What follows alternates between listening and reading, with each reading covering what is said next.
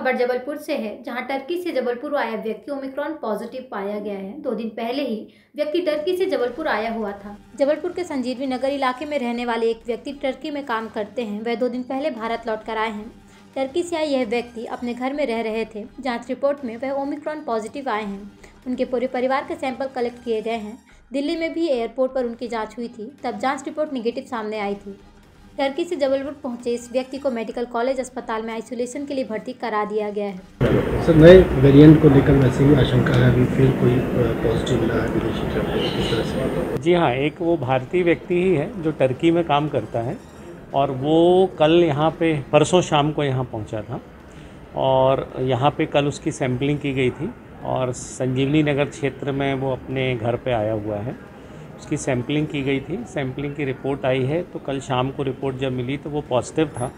और जैसे कि आदेश हैं कि अब उनका वेरिएंट के लिए जीनोम सीक्वेंसिंग हेतु सैंपल भेजा जा रहा है। इसके अतिरिक्त उनके परिवार के लोगों के भी सैम्पलिंग करा ली गई है। उनकी रिपोर्ट अवेटेड है, क्योंकि वो परिवार के लोगों के संपर्क में आया था। वैसे जो विदेशी विदेश से जो भी लोग आ रहे हैं, जैसे दिल्ली के माध्यम से आए तो इसकी जाँच दिल्ली में भी हुई है।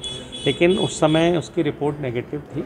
लेकिन हमारे यहाँ भी जब आता है तो हम लोग रिपीट करते हैं क्योंकि कई बार नेगेटिव आने के कुछ घंटों बाद जब वायरल लोड बढ़ता है तो वो पॉजिटिव हो सकता है।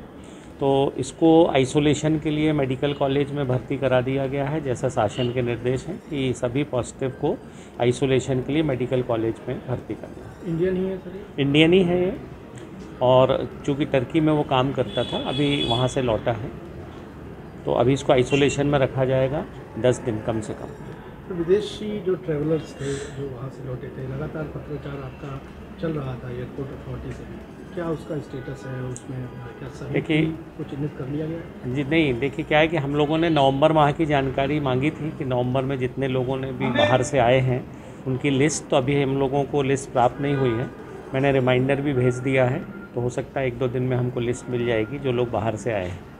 ये बहुत संवेदनशील विषय है सर इसके बावजूद अगर आंकड़ा नहीं मिल रहा है तो जी जी एयरपोर्ट अथॉरिटी का कहना है कि हम लोगों को एयरलाइन से वो लिस्ट लेनी पड़ती क्योंकि एयरपोर्ट के पास लिस्ट नहीं रहती है।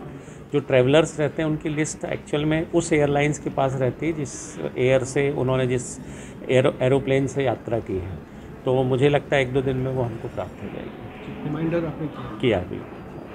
जबलपुर से आशीष पात्र की रिपोर्ट।